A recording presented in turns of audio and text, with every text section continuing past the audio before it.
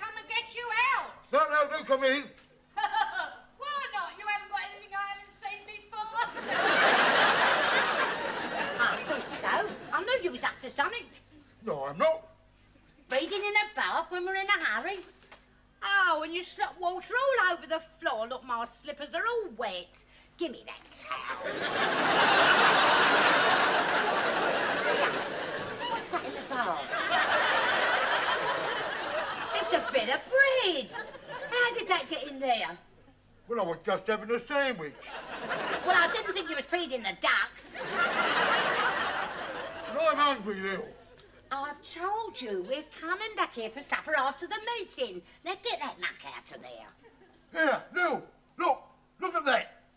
What? I never knew that cheese floated.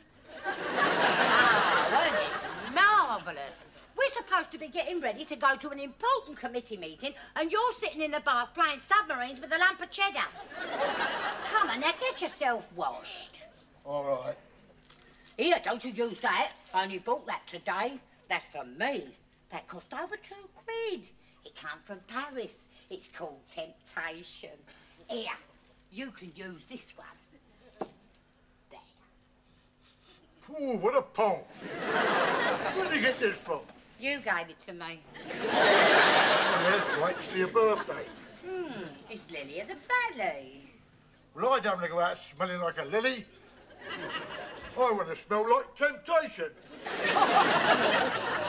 Oh, that's funny, that is. Take more than one bar of soap to make you tempting. Now, come on, hurry up. Anybody home?